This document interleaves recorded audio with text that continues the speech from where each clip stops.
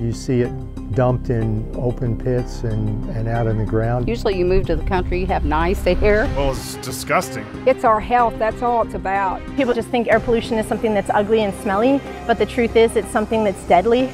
There are 22 super polluters in the whole country and five of them are here in Indiana alone, four of them in this 30 mile radius of Evansville that they locally call the sacrifice zone. A super polluter is basically a class of the worst offenders in the nation of power plants that release both the worst uh, toxic air emissions and greenhouse gases. Just in this particular area, the concentration of super polluter plants is, is really unparalleled in, anywhere in the U.S.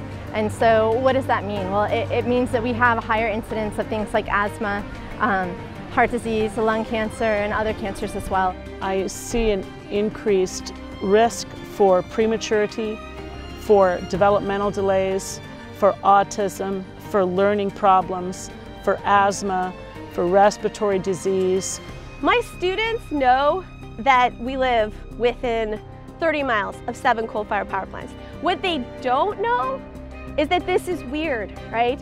They don't know other kids don't line up for inhalers before recess. Spencer County is 23rd out of over 3,000 counties in the United States for toxic release, and the state of Indiana is sixth for toxic release per square mile. I live north of Fort Wayne, Indiana, 347 miles from here at Rockport, and this is where our power is generated.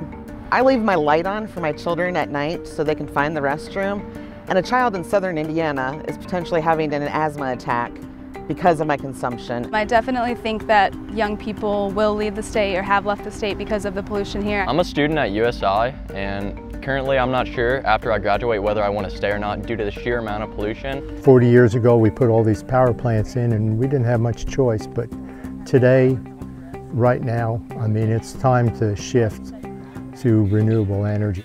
We're standing in front of our pole barn that has 50 solar panels on it and from that array we produce all the energy that we use in our home and in the barn itself.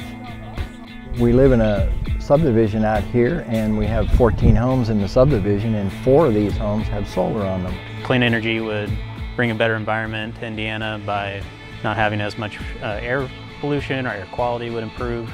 Um, there'd be more opportunities for innovation. People could take control of their own energy use. I always have a lot of hope for Indiana.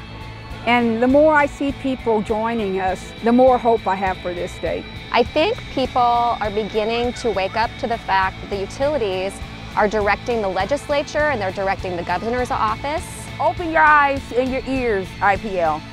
Legislators need to open their eyes and ears too. People have a vision of a cleaner Indiana, a healthier Indiana for our families. And they're going to start rising up and saying we want to repower Indiana. We're tired of the old way of doing things and we demand a better quality of life.